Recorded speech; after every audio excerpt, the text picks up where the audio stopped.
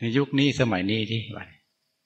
ให้เรามาดูว่าข้อวัดปฏิบัติ ยุคนี้สมัยนี้ทำกันอย่างไร จะตรงกันกับแนวทางข้างพุทธการก็ทำกันไหม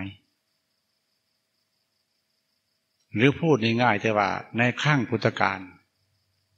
ผู้เอาอาการสามสิบสองดังที่เราทั้งหลายได้สวดกันเมื่อกี้นี้ ไปภาวนาปฏิบัติ เขาก็สามารถบรรลุเป็นพระอริยเจ้าได้ แต่ทุกวันนี้เราก็สวดได้เหมือนกัน และก็รู้จักเหมือนกัน แต่เรานำเอาอาการสามสิบสองนี่ไปปฏิบัติหรืออยัง แต่ถ้าเรานำไปประพฤติปฏิบัติ ผลก็จะเกิดขึ้นเหมือนกันกับข้างพุทธการ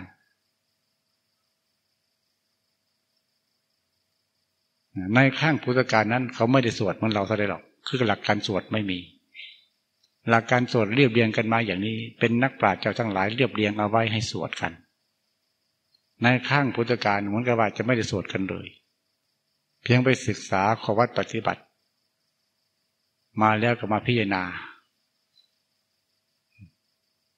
การพิจารณาการสามสิบสองนั้น พิจารณาเป็นอย่างไร ให้ลงสู่ไตรลักษณ์คือความไม่เที่ยงของธาตุสี่ที่มีอยู่เนี่ย ไม่เที่ยงอย่างไร สังขารร่างกายคือธาตุสีของเราให้เกิดเป็นทุกข์อย่างไรบ้างนั่นเขาสังขารร่างกายมาใช้พิจารณาในภาคปฏิบัติ นี่ส่วนหนึ่ง การพิจารณาลงสู่ความไม่เที่ยงแล้วยังพิจารณาลงสู่อสุภะคือความสกปรกโสโครกของร่างกายแต่ละคนแต่ละคน ให้รู้เห็นว่าสภาพสังขารร่างกายแต่ละคนนั้นเหมือนกันอย่างไรบ้าง คนสวยคนงามอยู่ที่ไหน เขามาพิจารณากันด้วยปัญญาในภาคปฏิบัติของเขา แต่ยุคนี้สมัยนี้ เหมือนกับว่าจะไม่ได้ทำกันเลยเรื่องหลังนี้ เพราะอะไรเพราะรู้แล้ว รู้อะไร รู้ตามคำสวดไปนี่แหละผมขนเล็บฟันก็ว่ากันไปสวดอย่างไรก็เข้าใจไปอย่างนั้น อันนี้ถูกต้องไม่ถูก ที่เขาเราเข้าใจทุกวันนี้เข้าใจทำตามคำสวดเฉยศึกษามาแล้วก็รู้ตามคำที่สวดมาเรียนมาเท่านั้น แต่ไม่เคยนำอาการการเรียบสองมาพิจารณามาภาวนาเลย แต่ก็สวดไหว้พระทั้งวันก็สวดทั้งวันไหว้ทุกครั้งถูกสวดทุกครั้งนั่นแหละ แต่ไม่เคยนำเอาอาการสามที่สองมาปฏิบัติ มาภาวนาเลย เมื่อสวดแล้วก็เลี้ยวกันไปเลี้ยวกันไปเทือว่าตัวเองรู้แล้วก็เลี้ยวกันไป ถ้าอย่างนี้มันจะเป็นไม่ใช่เรื่องภาวนาเรื่องการสวดนี่นี่เขาให้เราปรับปรุงสมัย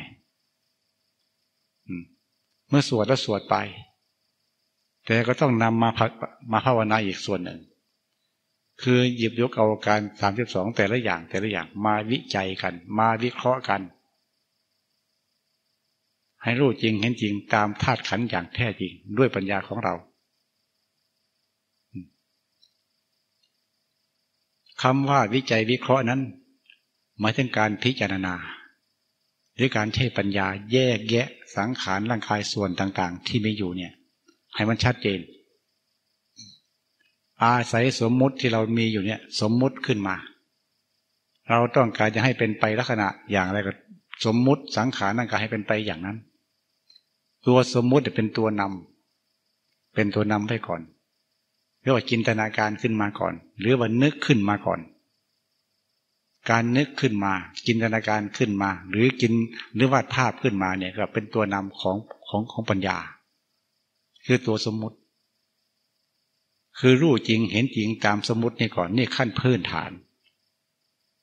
ถ้าขั้นพื้นฐานตัวนี้ไม่ตั้งไว้แล้วเนี่ยปัญญาจะไปอะไรได้ มันต้องสมมุติ ต้องมีจินตนาการ ต้องคุ้นคิด แต่นึกคิดหรือตองหรือจินตนาการให้ถูกตามหลักความเป็นจริงของมันเส้นผมขนเล็บฟันหนังเนื้อเอ็นกระดูกทั้งหมดนั้น จะว่าของไม่เที่ยงไม่เที่ยงอย่างไร จะว่าสิ่งนี้ เป็นของสกปรกโสโครกเป็นสิ่งสกปรกโสโครกอย่างไรก็มาแยกแยะออกมาเป็นส่วนๆเป็นกองกองเอาไว้ ให้ความละเอียดถ้าว่าโยนิโสมนสิการในข้างพุทธการเขาเอาร่างกายแต่ละส่วนกันส่วนมาแยกแยะให้เป็นโยนิสูให้คนอยู่เสมอเสมอว่า สังขารร่างกายเป็นอย่างนี้อย่างนี้ทำบ่อยๆทำบ่อยๆอีกสักวันหนึ่งข้างหน้า หรือเดือนหนึ่งปีหนึ่งข้างหน้า เราทำไปบ่อยแล้วเนี่ย จะเกิดความแยบคาย ความแยบคายขึ้นมาแล้วเนี่ย อะไรเป็นเครื่องว่าเกิดความแยบคาย อะไรเป็นเครื่องตัดสินให้ว่าถูกหรือผิด ความหายสงสัยนั่นแหละ เป็นเครื่องตัดสินให้ว่าผิดหรือถูก ถ้าหายสงสัยเมื่อไรนั่นแหละคือแยบคายแล้วเนี่ยถ้าหายสงสัยเมื่อไรกันเหมือนกับว่า ความยึดมั่นถือมั่นต่างๆ ใน ธาตุสี่ขันห้าของเราเป็นอัตตาตัวตน มันก็ถอนตัวเมื่อนั้น มันวางเมื่อนั้น นี่คือว่า เราสร้างญาณรู้ขึ้นมากับใจตัวเองให้ได้ก็ว่าความรู้คือว่าญาณรู้ของใจนะคือว่าญาณทัศนะญาณรู้หมายถึงความรู้อย่างลึกซึ้งจากปัญญาของเรา ให้ใจของเรารู้จริงเห็นจริงอย่างนี้ เพราะใจของเรานั้นมีความรุ่มหลงเรื่องอัตตาตัวตนมายาวนานได้เกิน นับชาติไม่ท้วนประมวลไม่จบตั้งแต่กลับนั่นจนถึงปัจจุบันนี้แต่ยังหลงว่าอัตตาตัวตนอยู่ว่า อันนี้ก็เป็นเราเรื่องของของเราอยู่ตลอดเวลา